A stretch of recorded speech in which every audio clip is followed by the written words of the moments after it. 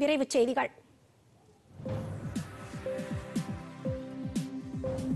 சென்னை நேரு விளையாட்டு அரங்கில் தேசிய விளையாட்டு தினம் கொண்டாடப்பட்டது.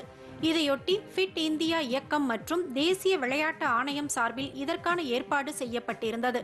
நிகழ்ச்சியில் சர்வதேச ஹாக்கி விளையாட்டு வீரர்கள் எஸ் கார்த்தி மற்றும் எஸ் மாரீஸ்வரன் ஆகியோர் சிறப்பு அழைப்பாளராக கலந்து கொண்டனர். அப்போது அவர்கள் மேஜர் தயான்சந்த் உருவப்படத்திற்கு மலர்தூவி மரியாதை செலுத்தினர். இதில் திரளான விளையாட்டு வீரர்கள் பங்கேற்றனர்.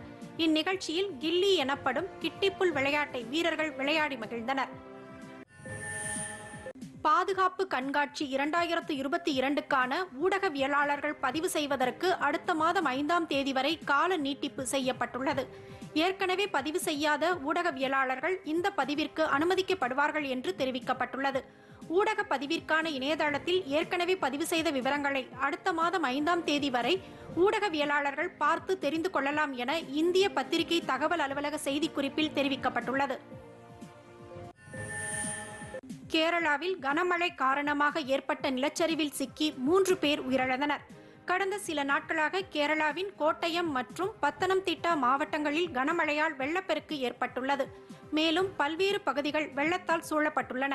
இடுக்கி மாவட்டத்தின் கொடியாத்தூர் பகுதியில் வெள்ளப்பெருக்கால் வீடுகள் அடித்துச் செல்லப்பட்டதோடு நிலச்சரிவும் ஏற்பட்டது.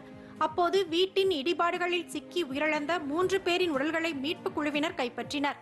மேலும் காணாமல் போன இருவரை தேடும் பணி நடைபெற்று வருவதாக மாவட்ட பேரிடர் மேலாண்மை அதிகாரிகள் தெரிவித்தனர். சத்தீஸ்கர் மாநிலத்தில் நக்சலைட் தீவிரவாதிகள் நடமாட்டம் உள்ளதால் அபுஜ்மர் பகுதிக்கு செல்லும் சாலை மூடப்பட்டுள்ளது. மாநிலத்தின் பார்சர் உள்ளிட்ட கிராம பகுதிகளுக்கு அடர்ந்த காட்டுப்பகுதியான அபுஜ்மர் சாலைகளைத்தான் பொதுமக்கள் கடந்து செல்ல வேண்டும்.